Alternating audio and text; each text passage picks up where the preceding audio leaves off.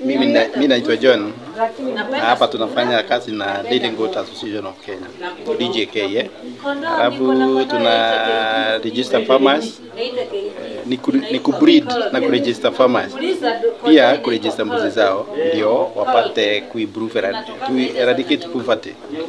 Kwa hivyo mbuzi inawasaidia kupata maziwa, mbuzi inawasaidia kupata pesa, na sana sana wakati mwingine eh, sana sana wakati mwingine wanapata nyama kutoka kwa mbuzi, pia wanapata manyua eh, mbolea ya kuweka kwa shamba. Ku, kuimprove. Uh, kitchen garden shamba zao that. Kwa hivyo pia ukiona hapa mbuzi, mbuzi unaweza weka kwa kashamba kadogo sana, na na hiyo eh, kuweka mbuzi una, eh, itasaidia familia yako kupata chochote, maziwa na vile nimesema hapo mbeleni, eh, mbolea, nyama na pia pesa.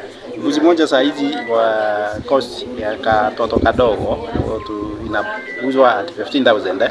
That's hiyo ni mbuzi ya kutoka 6 month to one year ama ime, imeenda kujifungua kama imesaliwa mara moja tu. Kwa hivyo ukirejista ama ukiliza mbuzi ya maziwa utakuwa unapata kila kitu, nutrients zote za familia na inakuwa sawa. Pia tumefanyiwa research ya maziwa ya mbuzi kwamba iko na iko na usaidizi sana kwa watoto wanakuwa ama watu ambaye wamekuwa grandparents eh, eh, wakitumia maziwa ya mbuzi pia wanasaidika sababu iko na calcium uh, inasaidia kurekebisha akili ya watoto wenye wanakuwa na pia ku strengthen the bones eh, za mwili yao.